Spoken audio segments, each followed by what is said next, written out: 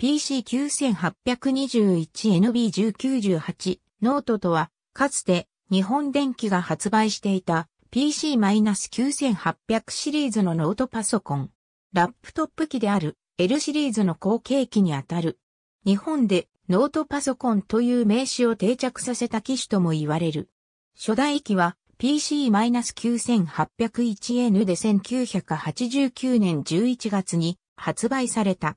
東芝の J-3100SS、エプソンの286ノートエグゼクティブに先行されたため、わずか3ヶ月半で開発、発売された。初代は V30 の 10MHz 駆動で、液晶はモノクロ8階調だった。初期の機種からフロッピーディスクドライブを1台のみ内蔵していたが、内蔵ハードディスクのなかった当時のソフトはフロッピーディスクドライブを2台必要とするものも多かったため、フロッピーディスクの代わりに使用できる RAM ドライブを本体のメニューから設定できた。また、NEC 独自の増設 RAM カードスロットを搭載し、初代機では EMS メモリとして使用できる RAM カードを内蔵できた。背面には独自の拡張コネクタを持った。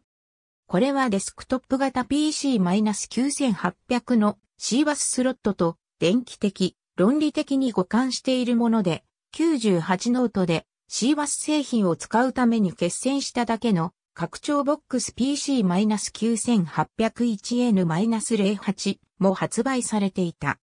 この拡張バスの存在はシリーズ後半に至るまで98ノートの強みであったが、小型で可搬性を優先した98ノートライトで省略され、末期にはフルノートの LaVie でも省略されることになる。1990年に登場した98ノート SX は 80386SX を搭載しており、 RAM カードスロットに増設する RAM カードはプロテクトメモリとしても使用できるようになった。この機種以降、ハードディスクドライブを内蔵するモデルも登場するようになった。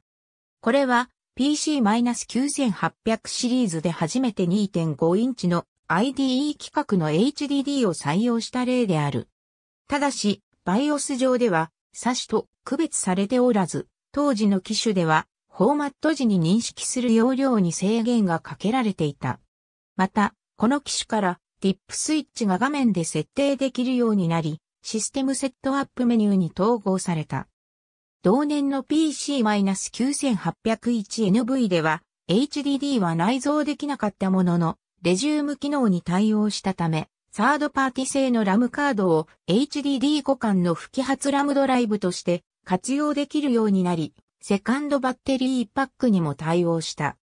さらに1991年の PC-9801NS/E からはオプションで外部ディスプレイ出力が可能になり、HDD が専用パック方式になるなど、PC-9801 型番の時代の98ノートに共通の設計が定まってきている。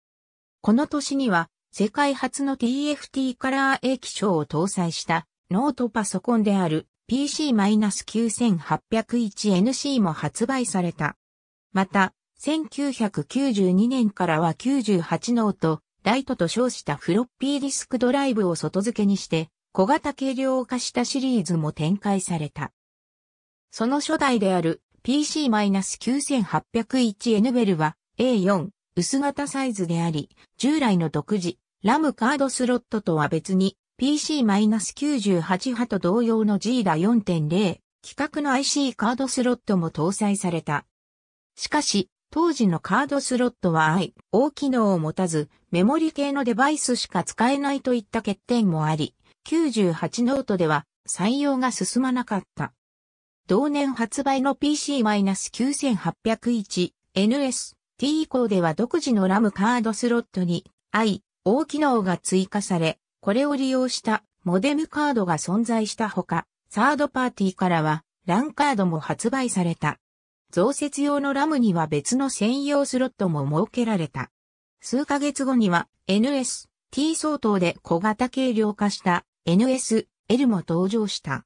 この年に登場した上域 PC-9801 な及びな C からは i486KCPU が採用されている。これは発売当時の PC-9801 型番機種としてはデスクトップの PC-9801FA を超える 20MHz 版が搭載されており、一時はシリーズ最速機種となった。また、内蔵 IDE のフォーマット制限もなくなり、約 500MB まで HDD を扱えるようになった。デスクトップ機で PC-9821 シリーズの登場後、1993年の PC-9801 NSR からは3モードフロッピーディスクドライブを搭載し、1.44MB の FD にも対応した。その後は同年5月の PC-9821 NE を筆頭にアーキテクチャの PC-9821 化が進んだが、シリーズ名は引き続き98ノートを名乗った。この PC-9821NE や同時期の PC-9801NX/C からはメモリの内部増設は機種ごとのメモリ専用スロットに一本化され、独自の RAM カードスロットが廃止されて、G が4.1、PCMCIA2.0 の PC、カードスロットが搭載された。98ノートライトシリーズでは1994年の PC-9801NL/R から B5 ファイルサイズに小型化されたが、これ以降の小型機では拡張バスコネクタや RAM ドライブが省略されるようになった。同時期の PC-9801NS、A からはプリンタポートが双方向対応の36ピンになるなど、コネクタ類が PC-9821 時代の規格に置き換わっていった。16MB 以上の増設メモリに対応したのもこの頃である。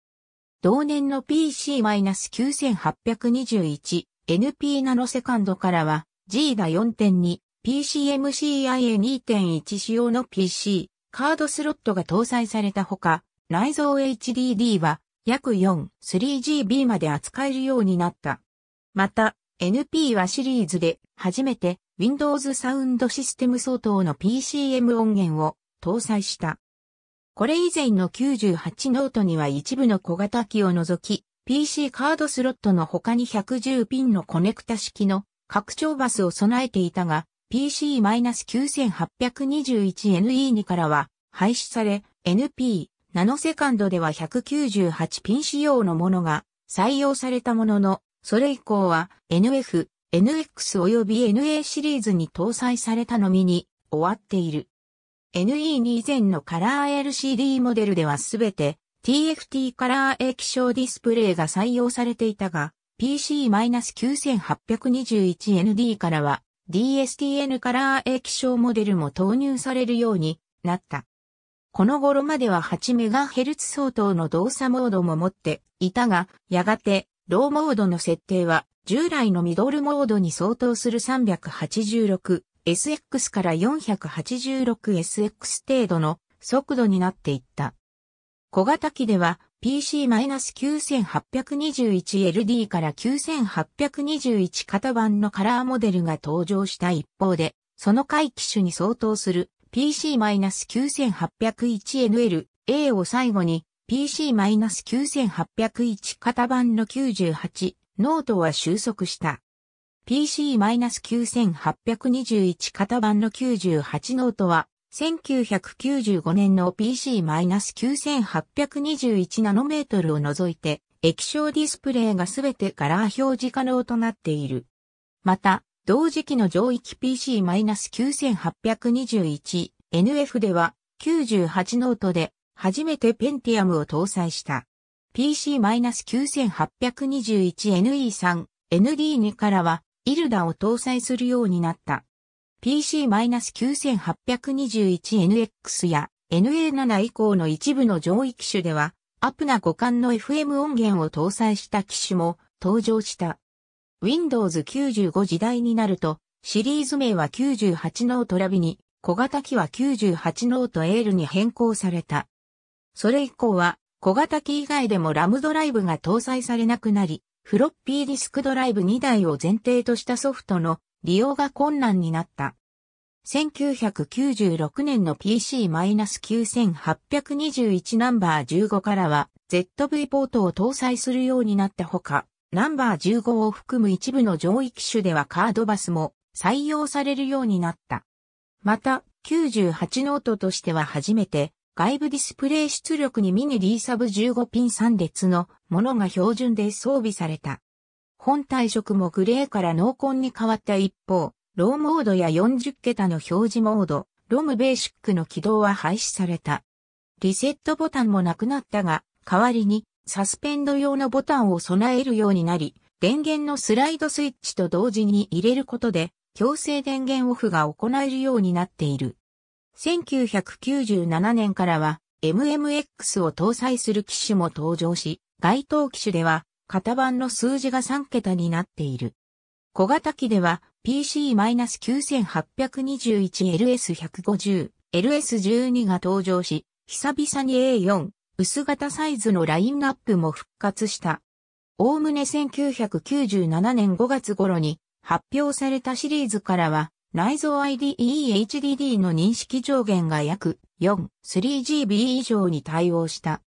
このため、ナンバー13や LS150 など、この時期をまたがってマイナーチェンジされた一部の機種では、枝番によって4、3GB 上限の存在するモデルとそうでない、モデルが混在する。ただし例外として、B5 サイズの小型機 PC-9821 ラ13では、後期モデルにも4、3GB の壁が残された。NEC の主力機種が PC98-NX シリーズに移行してからも98ノートはナンバーシリーズを中心に細々と新製品が発表された。1998年の Windows 98登場後は Windows 98搭載モデルもラインナップに加わった。シリーズ最終機種は1999年に発売された PC-9821 ナンバー300で Windows 98モデルではセカンドエディションが搭載されるようになった。